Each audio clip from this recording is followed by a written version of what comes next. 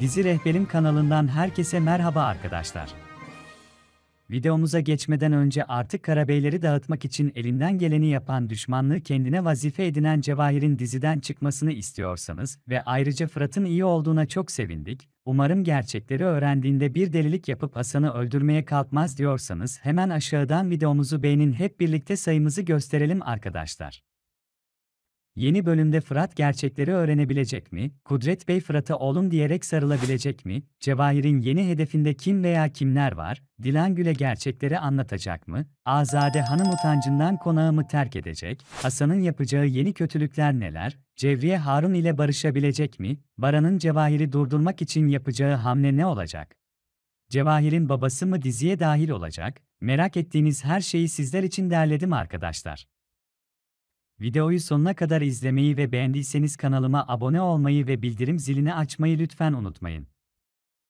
Kan Çiçekleri dizisinin yeni bölümünde Dilan, bir yandan Fırat'ın sağ salim yuvasına geri dönmesine sevinirken diğer yandan ise derin düşüncelere dalıp giden Baran'ı teselli etmek için çabalayacaktır.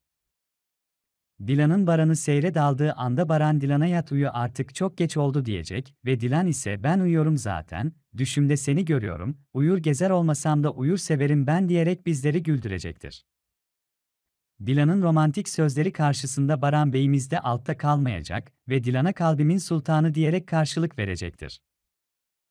Dilan ile Baran, Fırat'a gerçekleri nasıl anlatacaklarının planını yaparlarken muhtemelen Fırat birkaç bölüm gerçek ailesini Hasan yüzünden öğrenemeyecektir.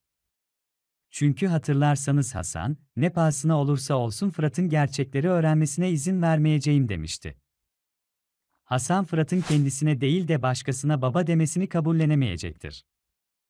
Çünkü Hasan annesiz de olsa evladını iyi kötü bir şekilde büyüttüğünü ve bu yaşa kadar tek başına getirdiğini iddia edecektir.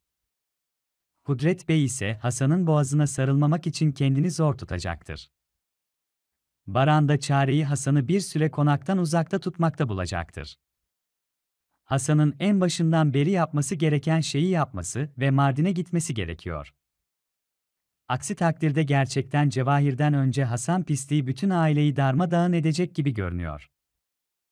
Baran Fırat'a her baktığında ona gerçeği açıklamak isteyecek, ona kardeşim diyebilmek isteyecek, çocukluklarında Fırat ile kardeş gibi büyüdükleri gözünün önünden film şeridi gibi geçecek, ancak Baran bir türlü Fırat'a sen benim kardeşimsin, sen Hasan'ın değil Kudret'in yani babamın evladısın deme cesaretini kendisinde bir türlü bulamayacaktır. Kudret Bey, en çok da Ayten'in kardeşi olacak o bacaksız Hasan'ın katlettiği biricik eşinin evlat acısı ile ölüp gittiğine üzülecektir. Fırat'ın annesine bir kere bile anne diyememesine çok üzülecektir. Peki ya sizler dizi hakkında neler düşünüyorsunuz? Hemen aşağıdan yorumlar kısmına yazabilirsiniz. Diziye dair yeni analizlerimizden haberdar olmak isterseniz kanalımıza abone olup bildirim zilini açabilirsiniz. Görüşmek üzere, hoşçakalın.